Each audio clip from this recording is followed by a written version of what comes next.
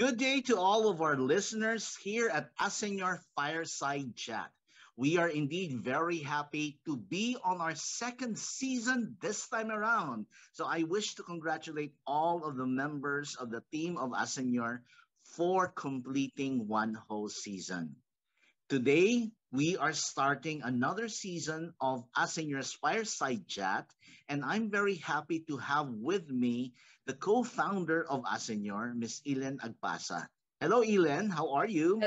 Yeah, I'm good. Hello, Sir Bob. Yeah, I'm also happy we have reached this far. And but I am also very, very happy because we have a very special guest. And this special guest is also special to me um, she's my former teacher. She's a professor and she's well versed in psychometrics and psychological assessment. Okay, so I'm really going to introduce to you uh, Mom Remy Baculao. Hi, Mom. Hi, hello. hello. Thank you. Welcome to our fireside chats. Okay, thank you so much for having us, uh, having this time with us. Okay. Yeah. yeah. So yeah, uh, yeah, if mm. you you are familiar with ASCENIOR, uh, one of our advocacy is uh, for productive aging and healthy aging, and um, we are so glad that we are able to invite you. You know, Ma'am Remy actually just retired recently, and yes, Ma'am, um, she also enrolled in one of our online courses. That is why I was happy. So, Ma'am Rems, uh, how was it like um, doing the online course? Okay with all those using the the technology. So how was it? Actually, initially it was a struggle because uh, being a senior, I'm not so uh, well versed in the technical aspects. Okay, so I was fortunate. I had my doctor to help out sometimes, and it was more of a struggle when I retired, and then I was asked to teach part-time and via online because of the pandemic. I used to teach face-to-face, but when it comes yeah. to pandemic, I have to do it online. So the first thing I did is I have to buy my own laptop because before when I was not retired yet, I was depending the equipments in the office for my computer. Yeah, yeah but it was well uh, kind of good that um, it did not stop you from uh, doing the shall we say keeping up with the technology diba? so you said that there was this struggle here but then you did it that it did not stop you from still using it. In fact you buy your own laptop okay? So where did that uh, motivation came from? Well of course uh, the motivation is that i should not uh, stop learning or doing my uh, usual passion to teach. And be encumbrance by the technology. So I tried to really learn. So I yeah. learned uh, the pandemic taught me something also about learning the technology. Because uh, when I was in the office, I had secretaries to do the the job related to computer, just did the work, uh, type it, everything. Because uh, I'm very slow in typing. Uh, once upon a time, I enrolled in typing, but I always ask my teacher, do not grade me. It's either one or five is the grading system, and then uh, I'm not so good at it. So, yeah. But yeah, but doing all those things, ma'am, um, how was it? How does it made you feel? Like, yeah, you were able to use technology and then in fact you were able to continue with your work and classes, although not the full-time kind of work, but just like part-time for you also to have like to feel active, okay, while retired. So how does it made you feel? Uh, it makes me feel still uh, young at my age and then able to cope with uh, the changing times. And it makes my brain work uh, and not stagnate. Yeah. Uh, saddest thing is to let yourself stagnate. Yeah. Mom, let me ask you, you retired in 2019. how was the transition from being very busy? I'm quite sure you had been busy because you were teaching uh, the, the graduate students, and perhaps you also had some undergraduate students. You must have been very busy when you were still in school. But after retirement, how was your environment? How was your daily routine? How was your, let's say, um, what did your day consist of? What did you do? And how was that transition? Was it easy for you or did you encounter difficulties adjusting to your new to this new chapter in your life? Uh, I really didn't have much difficulty because prior to retirement, I asked Ching, uh, Ching asked me to help her out in her work in Soto. So uh, after my retirement, uh, before the pandemic, I used to go to Soto and help her out with uh, some uh, trauma assessment. So in her private capacity, not for the government. So I used to go there twice a week. And has an office where I used to go. But when the pandemic arises, uh, it stopped because uh, the restrictions, travel, etc. So I was thinking, yeah, I still could do something. So I do the chores and I plant. I reconnect with my friends, chat.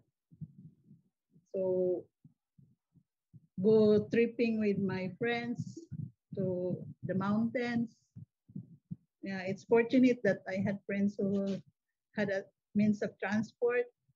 And then when they say, let's go to this and that, I go with them. We just share the gasoline and everything. So actually, it's not a very difficult transition for me. Yeah, because there was like, know. Yeah, sir, because there was like some form of continuity. So even like she's retired from, Ma'am Remy is retired from her full-time work, being a teacher and at the same time um, in the testing center, but there was also a form of continuity because you also do uh, trauma assessment. Mm-hmm. So there's continuity and also reconnecting with friends. Okay, those are the things that are really also very important. Oh. Mom, with your experience with the online classes, online courses, oh, and then um, how was it? Like how important it is um, to still learn even at this stage in life? Yeah, it's a challenge actually because uh, initially, uh, good thing at that time my daughter was working from home. So every time there's technical glitch, I call my daughter, oh, help out, help out. Uh, why is this not moving? And then the, the internet connection. And also, it's not only me who has problem with connection, also my students. So it's really a struggle. They could not attend the class. So I give assignment, etc. So that was a struggle. And then in the 2020, when the pandemic broke out, uh, there was restrictions. So I, I managed to stay at home, keep myself busy. And there are pre-webinars. I attended all the pre-webinars that I could put my hands into whenever there's no conflict with my other activities. So that's it. Which providers do you usually frequent? What kind of topics do you usually enroll in sa mga free webinars, ma'am? Because I'm a member of the PAP and PGCA, topics from that organization I always strive to attain. So, Philippine Guidance Counseling Association webinars, um, Philippine Psychological Association webinars, at that time it was free 2020 so I, I strive to attend that. Then later when it becomes a little bit low they ask for payment already. So i chose those who will not need payment.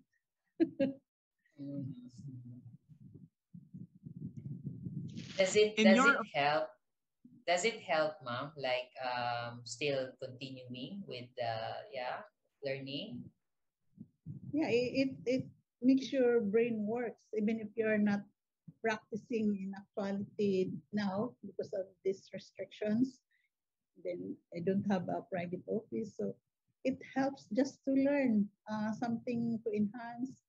Because uh, once in a while you encounter some friends who has problems and you don't need to go to a profession, other professions. Just ask me.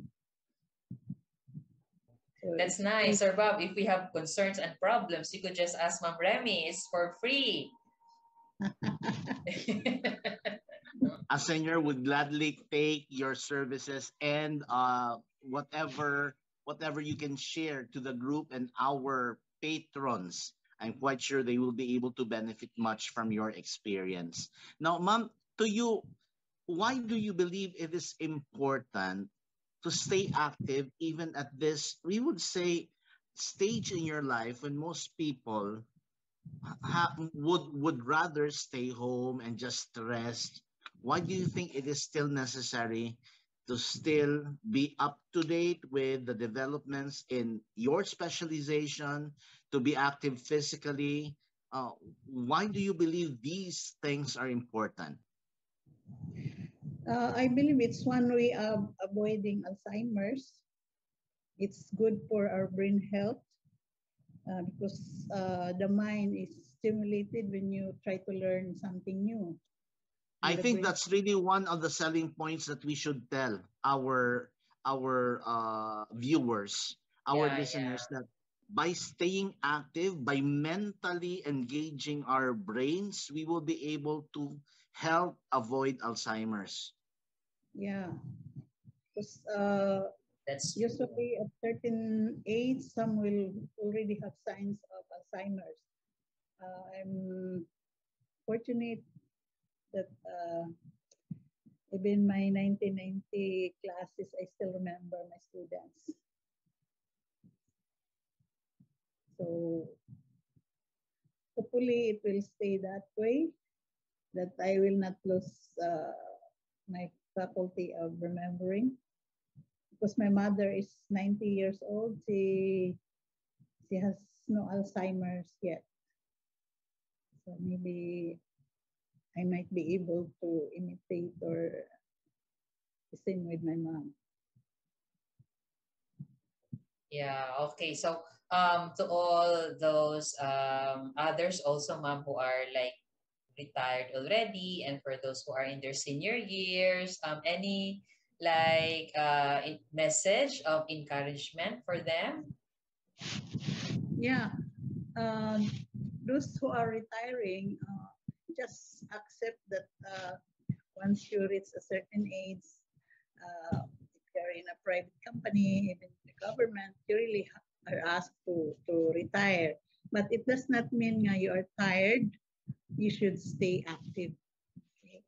It's either by learning, doing some hobbies, or uh, being financially uh, equipped for business if you are good at it, so that uh, your brain works and it will keep away the Alzheimer's, the dreaded disease of the aging people. And it helps also to be uh, physically active. Uh, some will do yoga, other things, exercise. I'm too lazy for that. I just do the chores in lieu of that, mop the floors, etc. and uh, this, sometimes uh, the back pains for you know sweeping, yes. etc. Uh, I do that. I don't hire helpers. I do the washing. So mm. active keeps you awake, alert. Being active also makes one sweat and be sexy. Unfortunately, I yeah. um, I eat because after I cook, I will think of the next meal. and like okay office, I was busy. I could not think of food. But now when the food is accessible, I'm the one who markets. And then I, okay. I plan menu in my brain. What's the next menu? that it will not be repeated. So, ma'am, from time to time you attend webinars you also take some trip together with your friends and yeah. then you also love to eat plan cooking plan your meals go to the market cooking what else do you do during these times so that you will prevent yourself from becoming bored i take care of my cats and dogs wow how many cats and dogs do you have, mom? Uh, I have two dogs. Uh, there's one cat inside her. There are four cats outside. And, ah, okay.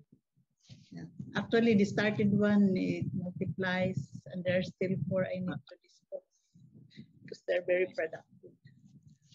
Why, why do you encourage if you already have if you have three cats plus one inside and then you have two dogs when people would ask you why do you have these pets why do you have this number of pets how would you respond to them actually it's just uh, for love or kindness to animals uh, most of my dogs are uh, my dog the first dog is adopted actually uh, it's Askal uh, she just come to our gate hungry and I was staying at the other house at the time. It's not my own house yet, it's my mother-in-law's house. So uh, we just lost a dog, a guard dog. So we adopted that one. So, and my second dog, it's I could not refuse my friend. She's the one I always uh, accompany. She has a van to transport that to our laag. So she brought that dog to me and I could not refuse. It's already big because uh, the pandemic. And that friend is a lover of dogs. She has 16 dogs. Wow. Yes. Yeah.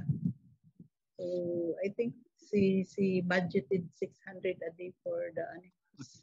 Wow, 600. Yeah. More than the minimum daily wage. Yeah. She's an animal lover. She has one dog that uh, stayed with her for 16 years. And has lots of dogs. Mom, Mom uh, Remy, we would yeah. like to thank you very much for the time that you have spent with us. But I would, uh, see, Yllen already asked you a while ago why you what your message is for our listeners with regard to the necessity or the importance of being productive. But this time around especially during the time of the pandemic i would like to ask you to leave or share a message to our listeners especially the senior citizen the importance of being safe the importance of social distancing and what are the tips that you can share with them so that they will be able to still remain healthy and safe even during this time of pandemic? Uh, for the seniors because there's so many restrictions for the seniors i ask or encourage them to to just follow what's prescribed uh, you, you practice social distancing, you wear uh, face mask and face shields, and then avoid group uh, gatherings. You know, even if I go on trip with my friends, we have we are only four or five in the group. We maintain social distancing uh, when we eat out. Okay. So I usually stay home. I don't uh, roam around the neighborhood if I don't have anything uh, important to buy. Okay. So if it's not necessary for you to, to go out, then stay home and do your plans or whatever is your uh, uh, liking to do. So let's try to be safe, have yourself vaccinated, encourage others to do the same. Um, I've been encouraging also my relatives at home in the province to have vaccination because my mother is already 90 and even if my mother don't like to be vaccinated, at least the people surrounding here, my nephews, I ask them to be vaccinated because they're the one going out. They might bring in something. So let's be uh, careful, especially if we have comorbidities. Okay. Uh, do not fear the vaccine. Actually, uh, initially I was fearful of the vaccine because um, uh, what will happen if you know the virus cannot fight, etc. Because I have maintenance for my blood pressure. So, but and especially uh, people are uh, telling me some of the fake news. So I researched on my own on the effectivity of some vaccines. I was vaccinated with AstraZeneca. And the reason I, I fear the Astra because there was a case reported on blood clotting. Mm-hmm. So I had varicose. So that's why I relate to that. I might have clotting varicose, etc. So, but same I, here, AstraZeneca too. Fully mm-hmm. vaccinated, two doses already. Good.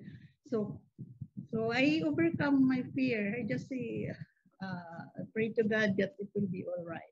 So, but I encourage uh, people to keep safe, stay at home. If you don't have uh, essentials to do outside, then just stay home, do your things. There's so many things you can do actually.